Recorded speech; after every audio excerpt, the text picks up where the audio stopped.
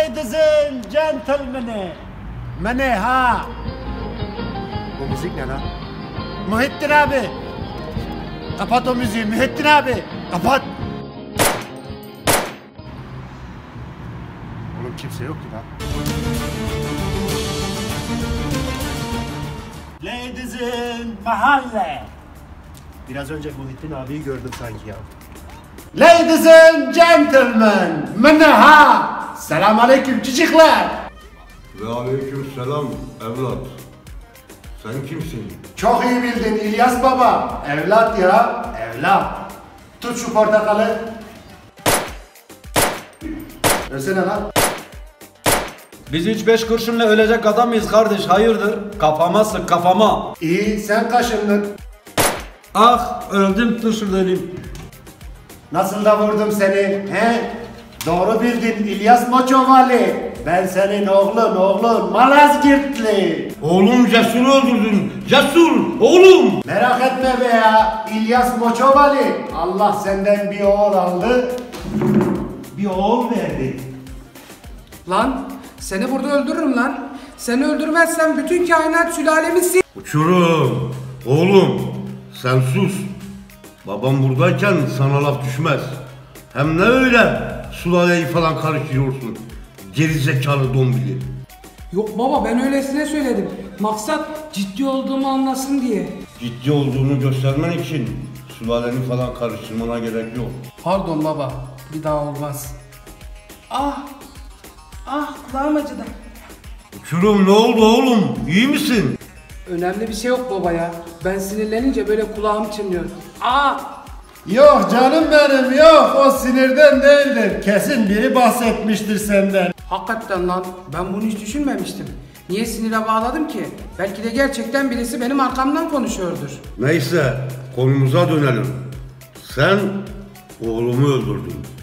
Sen de öleceksin. Oho ladies and gentlemen amma uzattın babalık ya. Ben senin oğlunum. Biri gitti yenisi geldi. Ben Mihriban türküsündeki Mihriban'ın oğlu Malazgirtli. Tanımadın mı? Yani gerçi sen de haklısın İlyas baba o kadar çok oğlum var ki beni tanımaman normal. Bir de şöyle bak bak aynı sen sen ben benziyoruz. Ya baba bu ne ya? Baba bu ne ya? Memleketin her köşesinden bir çocuk çıkıyor. Vallahi sıkıldım bunaldım artık ya. Bu arada seni zampara seni. Ne konuşuyorsun lan hırt? Gençlik işte. Zamanda yaptık bir şeyler. Ama sen beni soyacak gibisin. Vallahi doğru söylüyorsun İlyas Baba. İlerleyen süreçlerde onun aynı senin gibi olacak. Mınnaha mınnaha. Nasıl yani? Sen nereden biliyorsun evlat? Ya çocuklar siz orasını karıştırmayın. Farz edin ki ben gelecekten geldim. Onun için dedim ya sana. Eski oğlun gitti, yeni oğlum Malazgirtli geldi. Aa! Yine kulaklarım çınlamak üzere. Ne diyorsun lan? Hiçbir şey anlamıyorum. Merak etme çocuk, merak etme geçer.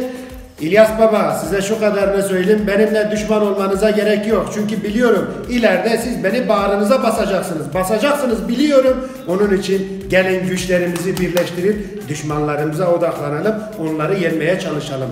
Tabii yenebileceksek yeneceğiz gibi görünüyor. Çünkü belli yani sonuç belli. Hele bir anlat bakalım. Nasıl olacak bu işler?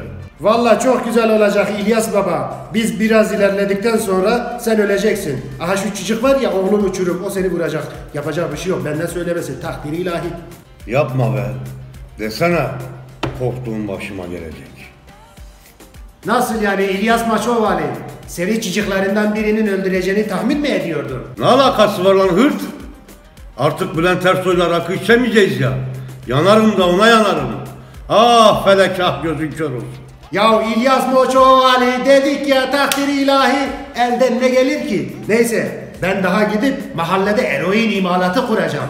Onu kurduktan sonra da Afganistan'a gidip orada böyle saç sakal uzatacağım. Anladın? Niye gideceğimi ben de bilmiyorum valla. Hadi bana müsaade. Bu hayatın ladies'i maides'i yok. Gentleman'ı var. Manaha! Mahalleli. Oh çocuklar. An! Madem her şey bu hırtın dediği gibi olacaksa bizim burada oturmamızın ne anlamı var? Bütün zenginler zaten bu mahallenin peşinde. Ne var lan bu mahallede? Ne var lan bu mahallede? Söyleyin bana. Aynen öyle baba. Vallahi ben de anlamadım. İstanbul'da o kadar mahalle var ama tüm zenginler kafayı buraya takmış. Uçurum oğlum. Biz pazara gidelim de işimize bakalım. O kadar zenginin bu mahalleyi alamaması onların sorunu, bizim değil.